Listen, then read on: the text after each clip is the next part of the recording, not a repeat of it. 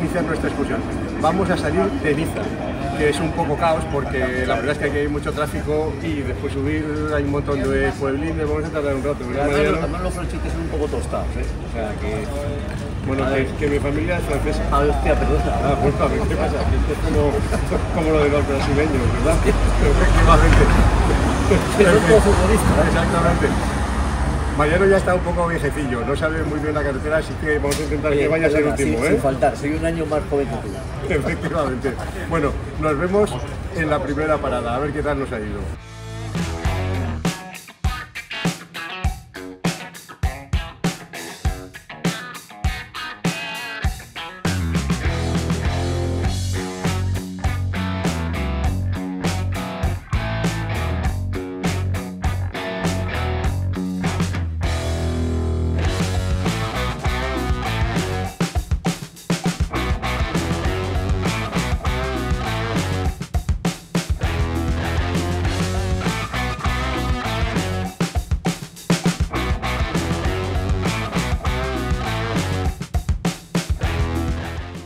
El Col de la Bonet, 2.800 metros, más lo que he subido desde la carretera hasta aquí, hasta el mirador, que casi he hecho el bofe. Por lo menos hay otros 200 metros, pero merece la pena. Mirad qué vistas más espectaculares, 360 grados de todos los Alpes marítimos, encima sin una gota de nieve.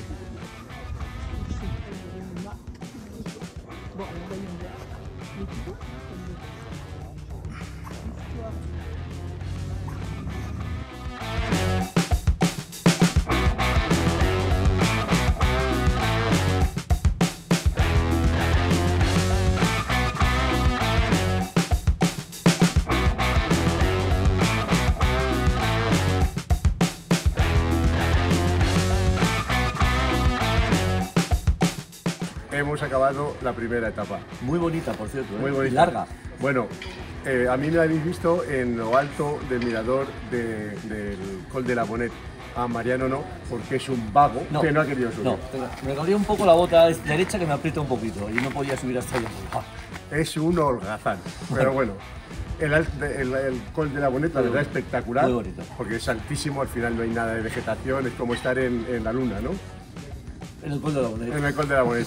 Hemos hecho pues una pequeña rutita ahí de, De- campo, de campo, muy un corta. poquito de nenaza, Un poco un corta, un poco de nenaza. sobre todo yo, que sabes que no es lo mío, efectivamente. Y después nada, hemos venido hasta la Barcelonet, hemos seguido subiendo y bajando eh, eh, todo tipo de, de curvas, unas buenas, otras malas, doble carril, sin carril. Mariano, como siempre, ganándose el último. Sí, sí, sí. Sí, sí, sí, está viejo ya. Muy tranquilo. Ah, muy tranquilo, pero la verdad es que, es que muy bien. ¿Qué es lo que más te ha gustado de todo el día? La la Boneta me ha gustado y luego me ha gustado mucho la Transal. La Transal me ha gustado también. Pero ahora vamos a la moto, estamos hablando del recorrido. Vale, pero es que el recorrido se hace más bonito con un bajo una moto que te gusta. ¿Qué Voy pelota. Qué bien pagado es este Mariano, eh, qué bien pagado. Yo, no- a mí la Transa me parece una moto súper cómoda. Hemos ido, tampoco hemos ido mega deprisa, hemos ido al Tran Tran, con lo cual la moto, la verdad es que se, Bueno, se cuando nos bien. pasó el franchute ese con una BMW ahí. Bueno, sí, Mariano es que es un picado. Íbamos tranquilamente detrás de un coche y nos ha pasado una BMW, no era muy nueva, de un francés ahí a toda leche. ¿Y qué es lo que ha hecho Mariano? Que es un picado. ¿He hecho? Irse a poner. Exactamente. Yo no he ido a poner. Qué mentiroso. Pero bueno, pero, pero bien, la, la ruta la verdad es que en- aquí en los Alpes tienes 500 millones de kilómetros para hacer. y 500 millones de curvas. ¿eh? Efectivamente. Y la Transal, a mí particularmente en el campo me ha parecido blandita. Que hemos hecho muy Sí, poquito por eso muy poquito campo, pero bueno, la, la- la moto la verdad es que es súper cómoda. Yo voy con maletas y con un baúl. Yo espero probarlo otra vez en campo porque no sé si fui capaz de quitarle el control de tracción completo. Entonces, claro, cuando aceleraba, no, no me, Sí. ya me han enseñado cómo se quita y ya no me va a fallar. Bueno, ya Ever si tú. Ever si tú, exactamente. Bueno, Epe, vamos, ya nos vamos a ir a la siguiente etapa. Sí, vamos a dejar algo para luego porque si no nos vamos a aburrir. Efectivamente, y además que nos cuente algo Luis, que es el que sabe la verdad las cosas. Nosotros es el que cuenta las verdades. Efectivamente. Hasta luego. Hasta luego, amigos.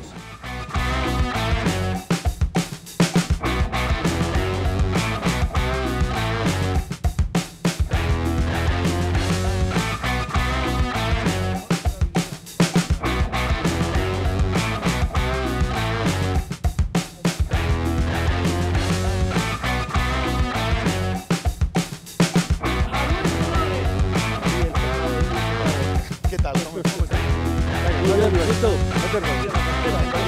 sí que os explicaré que esta mañana hemos salido de, de la zona de Barcelonet, eh, dormíamos en una estación de esquí que se llama Pralup y enseguida hemos eh, tomado el Col de Bars, que aquí es bajito, son 2.200, 2.300 metros, aquí se considera bajito porque claro, los puertos son de 2.600, 2.700 para arriba. Estamos en el Añel, eh, ¿Tú puedes respirar italiano. bien o no aquí? Se intenta, se intenta. Sí, las fosas nasales las tengo amplias. Entonces, eh, como veis, es un paso fronterizo, el primero de los dos que vamos a hacer. Esta tarde, completando la etapa, después de una sucesión de puertos muy chulos como el Champeire, el Fauniera, y de cruzar la zona de Vinadius, una zona en la provincia de Cuneo, en Italia, eh, volveremos a entrar, a entrar en Francia por el Col de la Lombarda y acabaremos en la zona de Isola y... eh, eh, de nuevo estaremos en San Etienne de Tiné, en los alrededores, donde inició la etapa dura de ayer, la primera. Este chico es una enciclopedia de los El de la Lombarda es de color morado. No, no? no es de color Col Lombarda, aunque lo parezca por el nombre. Es un territorio militar que, que es un antiguo paso fronterizo. Hoy se, se utiliza muy poco. Básicamente lo que ves ahí son ciclistas y motos. Los que somos enfermos de los Alpes, vamos. Oye, que deprisa habla y no Sí. se confunde. Y os tengo que decir otra cosa, queridos amigos. Eh, parezco más bajito porque estoy en la parte baja de la apuesta. Estos están en la parte alta. Yo soy el más alto de los tres. A mí me han dejado el sitio bueno por ser el invitado. Bueno, pues nos volvemos a ver en un rato. Hasta luego. Ahora.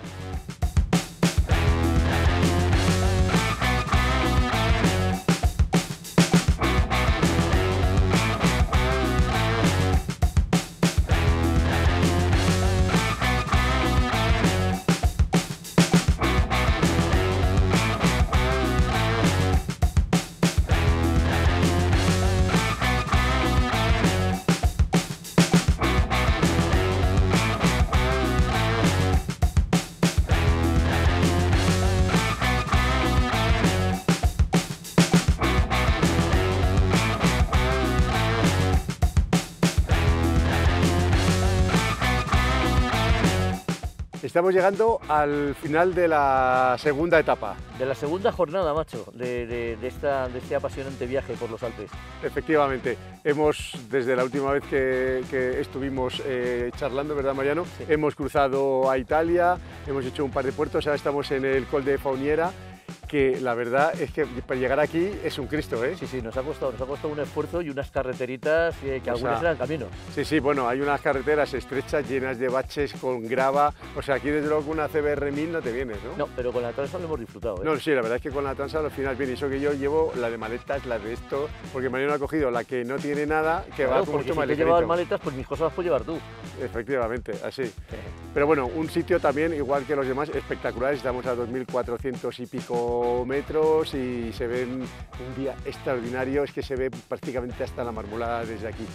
Y después, un detalle de este puerto, Mariano, que tú eres que eres un ciclista apasionado. que está el pirata. Hay una, hay una, hay una monumento y una estatua del pirata de nuestro amigo Pantani, eh, sabéis tristemente desaparecido, pero que en Italia es un ídolo de multitudes. Y aquí tiene su, tiene su referencia con esta, con esta estatua y no, sé si la, si se la Sí, ahora nuestro maravilloso cámara hace un paneo y la enseñamos. Sí, sí, sí. Así que Ahora subir en bicicleta con esto, con los agujeros que tiene, Sí, tienes que hemos venir con subido una con mountain y- bike por lo menos, ¿no? ya nos costaba con el motor, No, no. imagínate en bicicleta. Yo me he quedado con el culo plano. Sí, sí, sí, sí. Ha sido una, una ascensión, una ascensión muy bonita, pero la verdad es que es, es para, para echarle ganas y esfuerzo, ¿eh? En bici, quiero decir. Sí, pues nada, nosotros hasta dentro de unos minutos, pero en realidad para nosotros es hasta mañana. Hasta mañana. Hasta un ratito.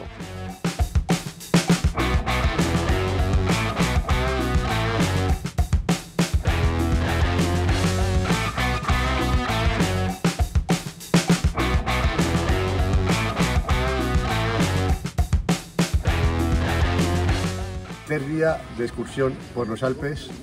Mariano, ya nos queda menos. Este, hoy va a ser una cosa un poco más suavecita, ¿no? Joder, sí, sí, ayer fue, ayer fue una excursionaza, ¿eh? Sí, sí, ayer nos metimos una panzada. porque- Llegamos a las 11 de la noche al hotel Sí, sí. y salimos a las 8 de la mañana. Y sí, desde el monumento de Pantani hasta que volvimos a bajar, nos hicimos otros tres o cuatro puertos, y Y como 7 millones de curvas. más o menos, y encima eh, algunas de noche. La verdad es que eh, maravilloso, ¿verdad? Sí, sí, sí, fantástico. Mariano es que está viejo, ya no le, no le gusta. A Mariano le tienes que dejar montar ¿qué moto un par de Si- horas. Si llegué casi sin despeinarme, si se me hizo corto. Sí, sí, no se despinó, eh, eso os lo puedo asegurar. Yo un pelín, pero solo la parte de la raya. Bueno, hoy, al, al grano, que es que... que- A grano, hoy nos vamos a ir, ahora dentro de un rato, bueno, nosotros dentro de alguna, algunas horas, nos vemos en el Turiní, que es uno de los eh, puertos míticos míticos, Míticos. del eh, Rally de Monte Carlo. Hoy Vamos a hacer un montón de etapas de Rally de Monte Carlo, claro, que es de coches, de motos se puede hacer también, ¿no? También, sí, sí. Venga, nos vemos Y en además vamos a disfrutarlo con vosotros, amigos.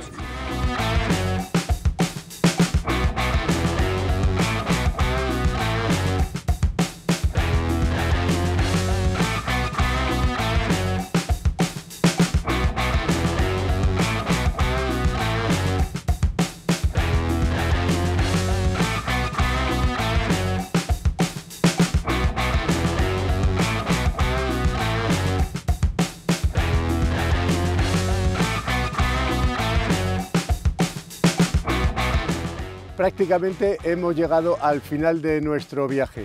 No estamos todavía en Niza, estamos en el Col de Turigny. Sí, como diría el cerdito Porky, lástima que terminó. Efectivamente. Este sitio, la verdad, es que para las motos no tiene eh, mucho aquel, pero para los coches es la leche, ¿no? Sí, sí, bueno, este es el sitio mítico del Rally de Monte Carlo. Sí, sí, estamos... Aquí nuestro, nuestro Antonio Zanini, eh, no sé si alguien lo recordará, sí, espero que sí, el que hizo aquí diabluras. Sí, bueno, estamos aquí, los bares evidentemente están todos llenos de chapitas, de fotos de coches, pero todo de coches, ¿eh? Pero la verdad es que hay mucha cosa de coches, pero aquí lo único que hay son motos. Sí, sí, sí, sí. Nos hemos encontrado un montón de ellas. Yo ya me canso de saludar, tenía los dedos ya de, digo, solo conduzco con una mano. Sí, sí. Ya más o menos os eh, contaremos el, el- el recorrido, porque ahora va a venir Luis a echarnos una mano, que nosotros tenemos muy mala memoria. Sí, son los Pero años ya, Pepe. exactamente los años.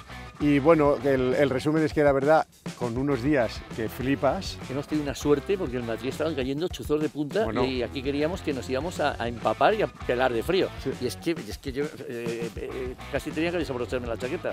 ya te digo, encima casi 3.000 metros es que ni una nube. Sí. Pero bueno, debe ser lo del cambio Creo que lo han climático. contratado, la agencia es muy buena, ¿eh? creo que lo han contratado este amigo nuestro, el Luis El- Morales. el Luis Morales este. ya todo contratado. Sí, se organiza viajes por aquí, ¿no? Sí, sí, sí, organiza viajes además estupendos. Bueno. Lo podemos recomendar. Bueno, ya tenemos un vídeo hecho sobre la Transal con todos sus detalles y cómo va. Pero en general, la moto para el recorrido que hemos hecho, que son curvas, curvas y más curvas, subir y bajar, ¿qué te ha parecido? Pues, pues, es que es lo que hablábamos un poco ayer por la tarde, Pepe. A mí sobre todo esta moto me ha parecido que tiene, es una moto armoniosa, o sea, tiene armonía entre todos sus componentes. Es una moto que va bien en casi todos los sitios, no destaca especialmente en nada, pero todo lo hace bien. Es una moto dispuesta a cualquier reto que le plantes y siempre te va a dar uh, la cara y siempre va a portarse bien y de manera agradable. Es una moto muy amistosa. Sí, a mí lo que me ha parecido es lo que dices tú, la verdad es que es- no es una moto que sea nada, nada radical, pero cuando te tienes que hacer a lo mejor 400 o 500 kilómetros eh, diarios, que no los hemos hecho nosotros tampoco, pero entre curvas cerradas para un lado para el otro,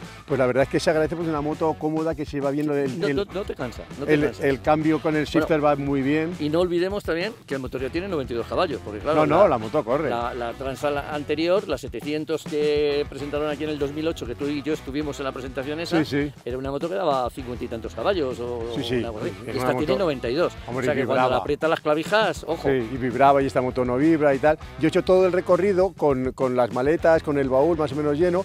Le he intentado a Mariano que me, su moto que me la dejase alguna vez, pero no, ha habido No, manera. No, no, he querido, no he querido. No ha querido, pero, No.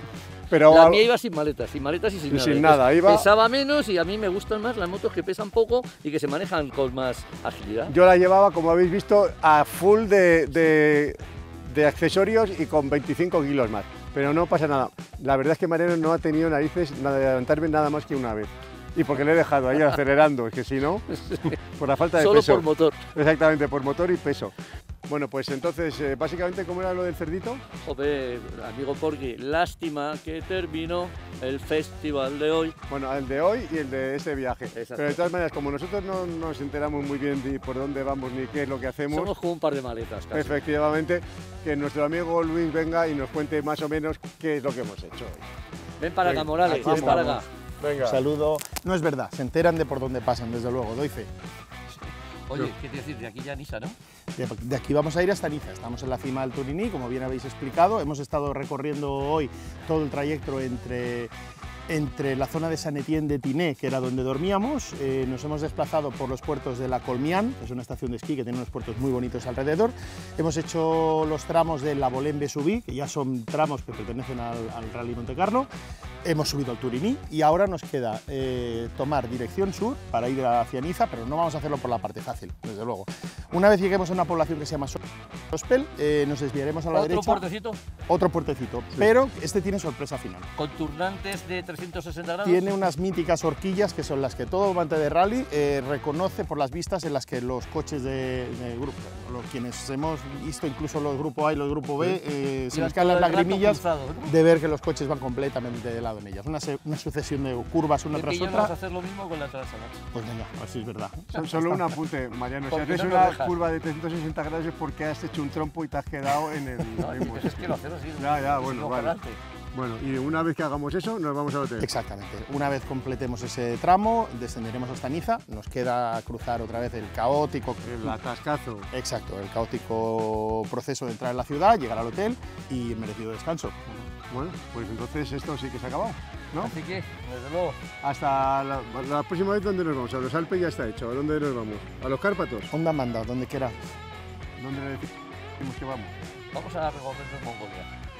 Joder, bueno, pues nos vemos en Mongolia. Lo propondremos. Hasta luego, Hasta amigos.